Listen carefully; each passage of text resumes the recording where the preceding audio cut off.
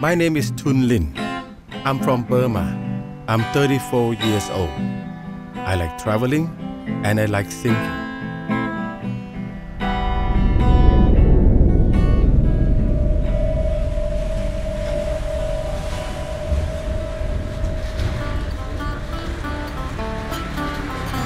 I came to Thailand illegally looking for work. I arrived here with a friend from my same town. He introduced me to a man who said he could find me a job. The man put me in a shipping container with 20 other people. We immediately knew something was wrong. We were banging on the door, demanding to know what was happening. But nobody responded. We were locked in the container for two days. One night, a group of men came, took us out, and we were taken to the pier. We were given fake passports and put on a fishing boat. My friend had sold me into slavery.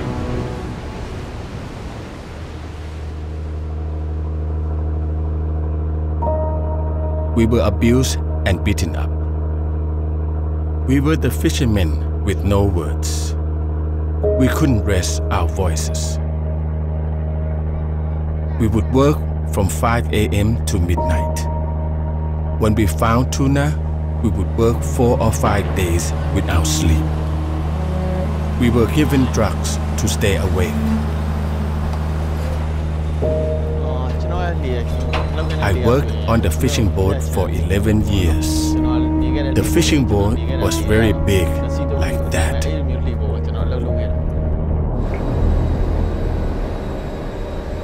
My first trip was in Somalian waters. Somalia was the scariest place. Their boats have guns and they would fire upon us. Three men died on the boat. They named a child Ton and Sunshine. They weren't buried. Their bodies were tossed in the sea.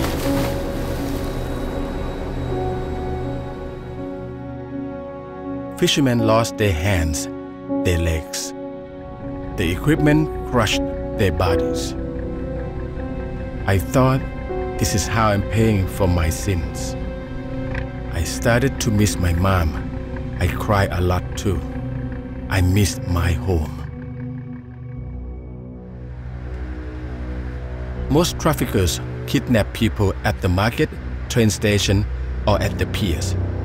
Some men are taken by force, others are drugged, then kidnapped. Traffickers work with Thai police to take the men, then they share the profit. They don't see us as humans, they see us as animals.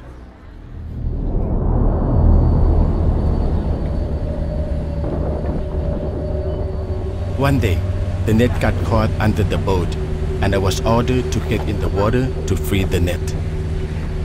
I remember the waves were very big and the net was swinging in the swell.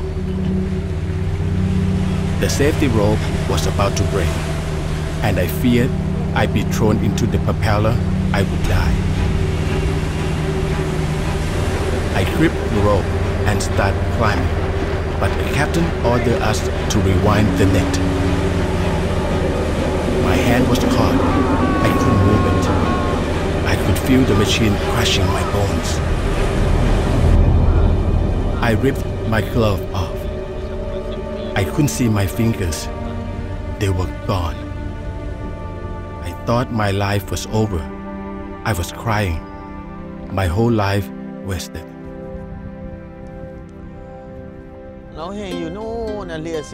That white ship is a mother ship. A mother ship transfers the fish from many boats at sea. That way, the boats and the men are kept working at sea, never reaching shore. In 2014, the boat made it to Ambon Island.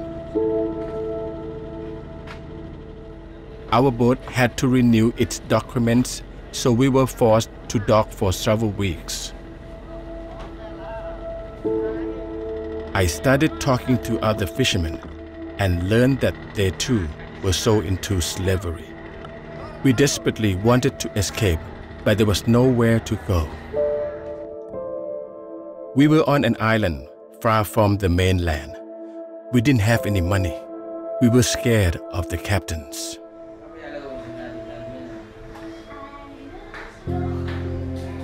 One day, a woman called Patima showed up. She was from LPN, a foundation that helps enslaved fishermen get back to their homes.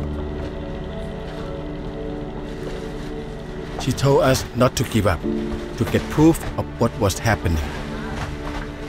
We started taking photos of the conditions on the boat. We grew brave. Hope gave us the strength to escape. The captains hired mafia to find us and take our phone with the proof. But no one was afraid anymore, and we fought back. Three fishermen died that day.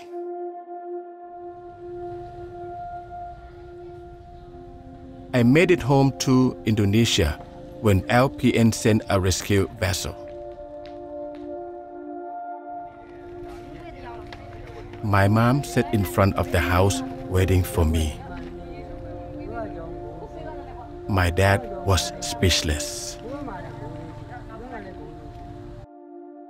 I said, Mom, I'm home.